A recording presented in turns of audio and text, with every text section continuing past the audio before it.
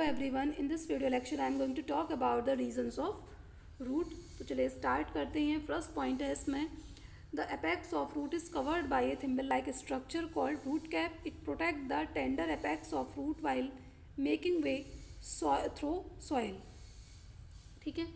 अब एक स्ट्रक्चर होता है थिम्बल लाइक स्ट्रक्चर है, और वो किसको कवर अप कर रखता है? वो रूट एपेक्स को कवर अप करके रखता है, और उसी को हम क्या कहेंगे? रूट कैप हम उसको कहेंगे।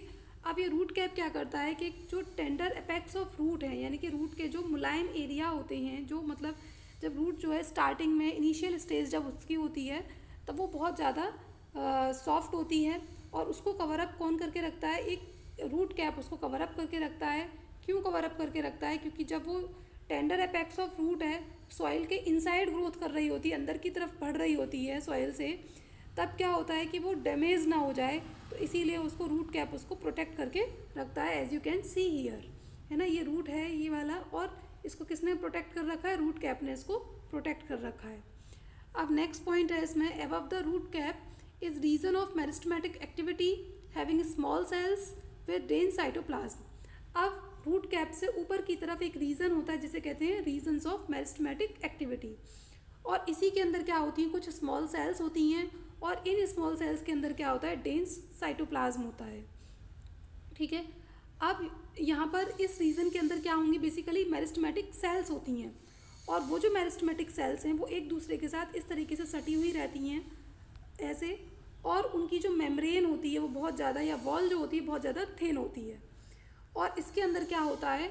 लगातार इनके अंदर डिवीज़न होता रहता है और बहुत छोटी छोटी सी सेल्स होती हैं और इन्हीं इसके अंदर और इनसाइड क्या होगा इनके? डेंस साइटोप्लाज्म होता है। डेंस साइटोप्लाज्म यानी कि जेली लाइक फ्लूड इनके अंदर भरा हुआ होता है और इसमें क्या होगा, लगातार ग्रोथ होगी, जो प्लांट, जो रूट को बढ़ने में हेल्प करती है। ठीक है, अब नेक्स्ट पॉइंट है, नेक्स्ट पॉइंट है, सॉरी, नेक्स्ट पॉइंट है इसमें the part above of the region of meristematic activity is region of elongation, where cells under undergo elongation and and enlargement to increase the length of root. अब इसके अलावा meristematic activity जो है, इसके ऊपर एक और रीज़न होता है, इसके एव पार्ट पर। मेरिस्टमेटिक एक्टिविटी के एव पार्ट पर एक रीज़न होता है, जिसे कहते हैं रीज़न ऑफ़ इलोंगेशन और यहाँ पर क्या होती हैं? यहाँ पर ऐसी कुछ सेल्स होती हैं, जिनके अंदर क्या होगा, जो एनलार्जमेंट के लिए चली जाती हैं।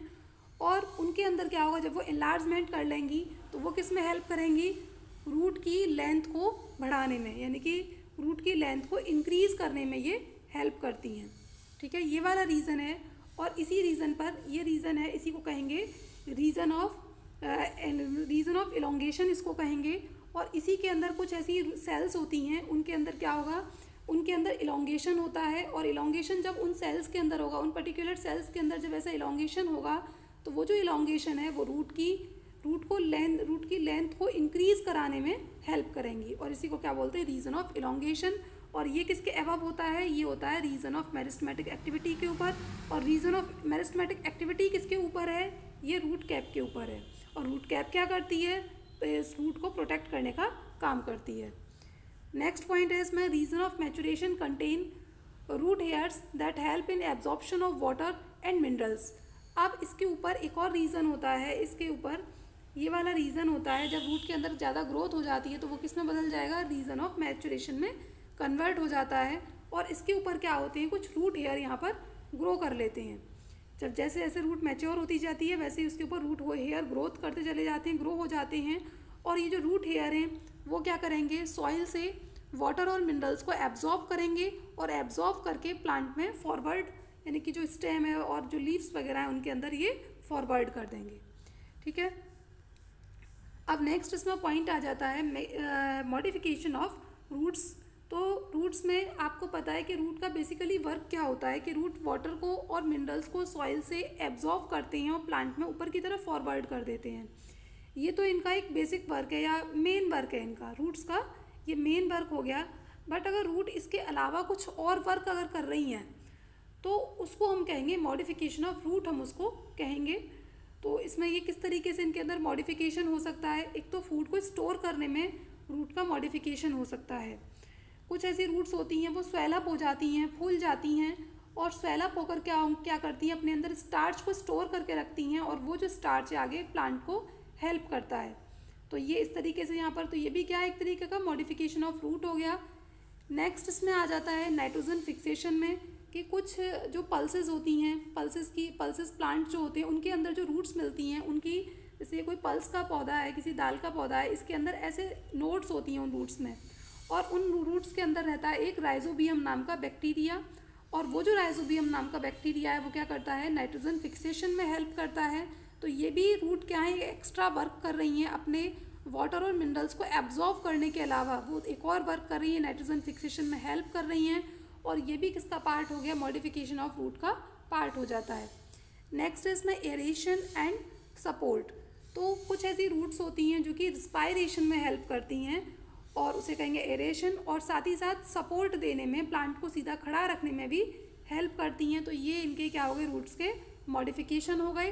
अब हम इनके आगे पॉइंट्स को समझ लेते हैं। फ़र्स्ट इसमें पॉइंट बताया गया है tap root of carrot turnip and adventitious roots of sweet potato get swollen to store food अब देखो ये क्या करती हैं कि जो टैप रूट होती हैं किसकी कैरेट की और टर्निप की। और स्वीट पटेटो की कैसी रूट होती है? एडवेंशियस रूट्स होती हैं और ये कैसी हो जाती हैं? स्वेलअप हो जाती हैं। बहुत ज़्यादा फूल जाती हैं स्वेलअप हो जाती हैं और स्वेलअप क्यों हो जाती हैं? क्योंकि इनके अंदर क्या होता है? फ़ूड स्टोर हो जाता है और फ़ूड स्टोर होगा और प्लांट को इस तरीके से हेल्प करती हैं। तो ये इनके अंदर क्या होगा? फ़ूड को ये अपने अंदर स्टोर करके रखती हैं और इस ये भी क्या है? एक तरीके का मॉडिफिकेशन ऑफ़ फ्रूट है। ये हमने जस्ट अभी आपको समझा भी दिया था। अब नेक्स्ट इसमें बात आती है तो इसका नेक्स्ट पॉइंट है, वो है prop root of banyan and stilt root of maize and sugar cane have supporting roots coming out from lower portion और लोअर नोड ऑफ़ स्टेम ठीक है? तो प्रॉप रूट तो आप समझ समझ ही गए होंगे प्रॉप रूट कैसी होती हैं, जो स्टेम से निकलती हैं, उन्हें प्रॉप रूट कहते हैं। तो यहाँ पर ये जो रूट्स हैं, ये कहाँ से निकल रही होंगी? बनियान ट्री से निकल रही होंगी। बनाइन ट्री के स्टेम से, जैसे कोई ये बनाइन ट्री है, यानी कि बरगद का पौधा है, और यहाँ से इसके स्टेम से कुछ हेयर लाइक स्ट्रक्चर्स लंबे लंबे से निकले हुए दिखाई देते हैं, और इन्हीं को हम क्या कहेंगे? प्रॉप रूट कहेंगे। और ये जो प्रॉप रूट होती हैं, वो सपोर्टिंग रूट्स होती हैं, यानी कि सब मैकेनिकल सपोर्ट देने का काम करती हैं।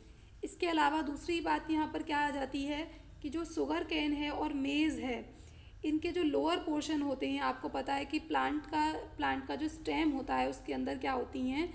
इंटर नोड्स और नोड्स होती हैं। तो जो लास्ट नोड होती है, इनकी जो लोअर पोर्शन वाली जो नोड्स होती है, वहाँ से क्या निकलती हैं? कुछ फाइब्रस रूट लाइक स्ट्रक्चर्स निकलते हैं, कुछ इस टाइप की रूट्स निकल आती हैं और ये जो रूट्स हैं, ये भी प्लांट को सपोर्ट देने का काम करती हैं। ये भी कैसी होती है? सपोर्टिंग रूट्स होती हैं और ये किसमें निकलेंगे? मेज़ और शुगर केन में।